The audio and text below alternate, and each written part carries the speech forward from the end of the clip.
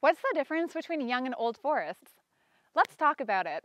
Right now, I'm standing in an old growth forest. That means this forest has either never been logged or hasn't been logged in over 250 years on the coast. Old growth forests are brimming with life. They have a rich understory filled with plants, a beautiful mix of ages of young and old trees, and are also filled with dead and downed logs that provide food and shelter for many different species. Let's compare that to a young forest. As you can see, this young tree plantation looks completely different from old growth. That's because all these trees are really uniform in age. They're all under 60 years old and are really crammed together. Because no light can easily pierce through the canopy, it results in this really barren understory.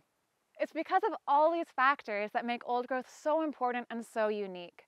Old growth forests support far more life than younger forests, and it'll take over a century for young forests to become as productive and as biodiverse as old growth, but we don't have time to wait. Only a small fraction of old growth forests with beautiful big trees like these remain standing in British Columbia, and most is at risk of being logged. Take 60 seconds right now to help ensure these forests remain standing for future generations.